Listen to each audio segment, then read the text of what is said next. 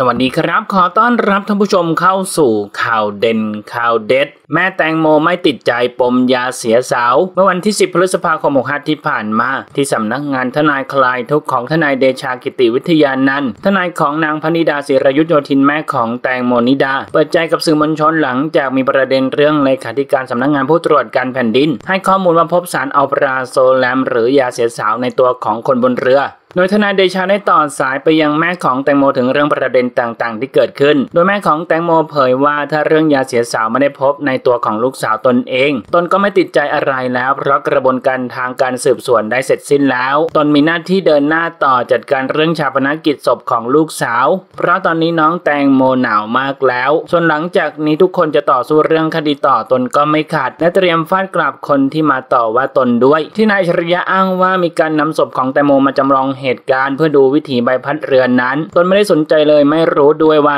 ร่างที่อัจฉริยะเอามานั้น เป็นของลูกสาวจริงหรือไม่ อัจฉริยะบอกไม่ให้ฆ่าตน ตนก็ไม่ให้ฆ่าเขาเหมือนกันท่านผู้ชมนะครับ มีความคิดเห็นอย่างไรกับเรื่องนี้ลองแสดงความคิดเห็นกันเข้ามาดูนะครับ ขอขอบคุณข้อมูลจากขอบข่าวขอบคุณครับ